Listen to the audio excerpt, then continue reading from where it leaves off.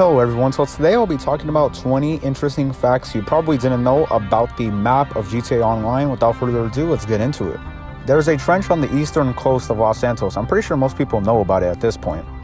What most people maybe don't know is it's actually a pretty expensive trench, and GTA Online is not really a scary game, but I do get somewhat goosebumps around here because it's just kind of eerie being this deep in the ocean. There is a billboard on top of the bridge next to the freak shop right here on the map, and it doesn't have any textures on it. I assume when Rockstar was making GTA 5, they kind of just put this here and forgot about it because this has been here for a very long time and it has not ever been updated.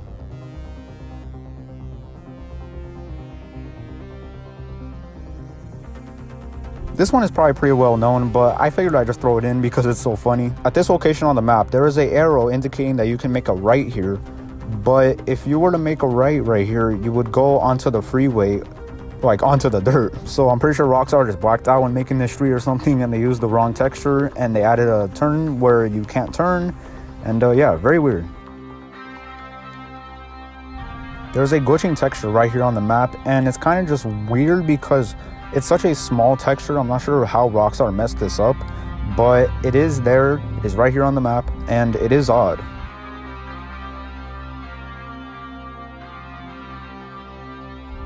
There's a parking garage where a certain portion of the parking garage cannot be shot through or it cannot be shot in. If you try to walk past this invisible wall with a gun, your character will kind of demount the gun, point it down, and you cannot shoot in this wall. I'm sure car meets would be great here because no griefers could really get you because you're safe from the orbital cannon and you're safe from bullets and explosives.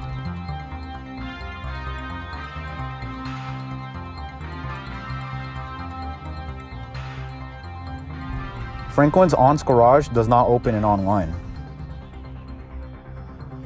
Neither does Michael's.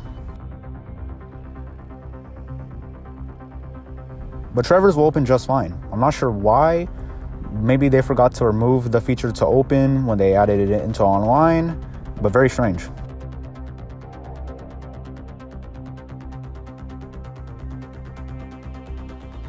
There's an open interior in this weird collection of houses near Sandy Shores, and no mission in online or story mode has ever taken place here. So I'm not sure why they would add an interior you can go into, but very strange, very odd.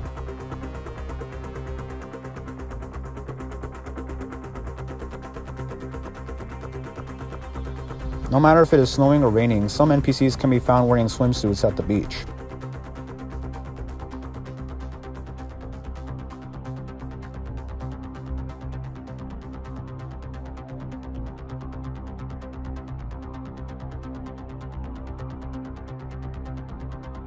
The sidewalk next to the Diamond Casino has grass next to it that has a weird interaction with motorcycles.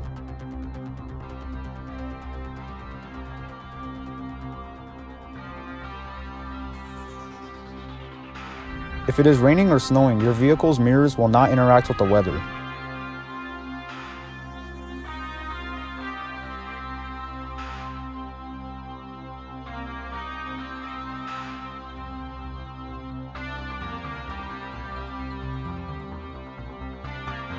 There's a company called STD, Sentinel Tuning Division, which makes intercoolers for some cars. However, what you probably didn't know is there is another company in the game that is also called STD, which are construction contractors.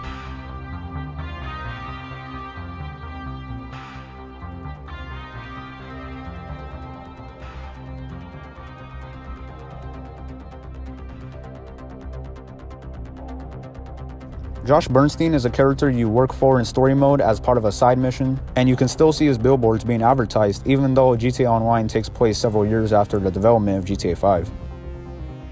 You can sometimes see a money truck that is colored black and gray exit the Diamond Casino. Sadly, unfortunately, like the old money trucks that were white and green, you cannot blow the back doors and get money, but it's still pretty cool to see money trucks driving around.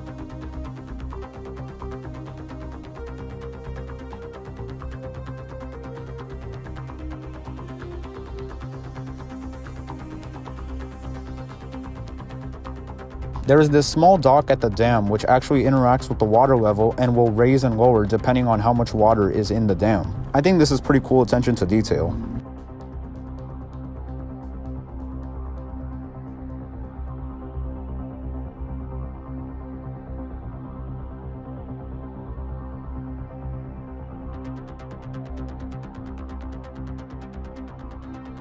The Diamond Casino is the only building that has had a major overhaul in GTA Online. I assume this is possible because the original casino did not have a lot of missions surrounding it, and any missions that were surrounding it were lesser played contact missions and they probably just got deleted. Unlike many construction buildings in GTA Online right now, like the Mile High Club, that have many missions surrounding it, many canon story missions, which is why the Mile High Club will most likely never be finished. The casino didn't have these setbacks, however, and that is why we were able to get an overhauled casino, which I think is pretty cool. A lot of people forgot by now, but there was some advertisements for the Moto Motomami radio station in GTA Online. These billboards used to have the Moto Motomami logo. However, it was more intended to be a graffiti thing than anything else. These weren't official billboards, they just spray painted over existing billboards. I assume the city came and cleans it up, and that's why we have the original billboards again. However, for the short time we had these, they were pretty cool. Now this has to be one of the more interesting facts about this video, but a lot of people already know about it. And that is the open interior IAA building that we used to be able to go inside, but Rockstar unfortunately patched it. I'm not sure why they did it because it caused literally zero harm. You couldn't grief or anything. You could snipe people most definitely, but you could do that from any rooftop. Very unfortunate, Rockstar kind of just patched it out and put an invisible wall so that we cannot travel through it. As you can see here, I'm firing missiles at it. I'm driving right up to it. Nothing is happening. Very unfortunate, but a relic of the past for sure. There's a refrigeration plant in the industrial part of Los Santos. This in and of itself is not cool, but what is cool is what it says on the top, Stay Frosty, which is most definitely a reference to the Call of Duty franchise. It can be found here on the map, and I think it's pretty cool.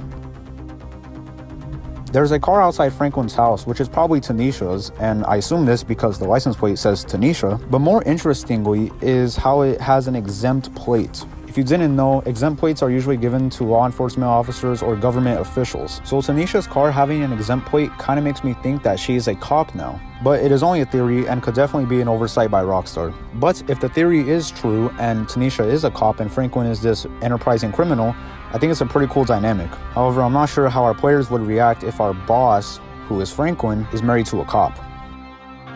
I figured I'd end the video on a wholesome fact. Next to the cemetery on this hill with benches on it, you can see in memory of Chris Edwards. Chris Edwards was a Rockstar employee who passed away unfortunately during the development of GTA 5, and his name was put here as sort of a, a remembrance. Very cool, and what a cool legacy to have, to say that your name is stamped on one of the most influential games of the modern era. Definitely awesome for Rockstar to do, and uh, unfortunate that he passed, but a nice remembrance memento. And that is it, everyone. 20 interesting facts about the map in GTA Online. I hope you enjoyed this video, and I might make more depending on how well this video does. But I, I enjoyed doing this video. I hope you all enjoyed watching it, and have a good day. I really appreciate all you guys watching.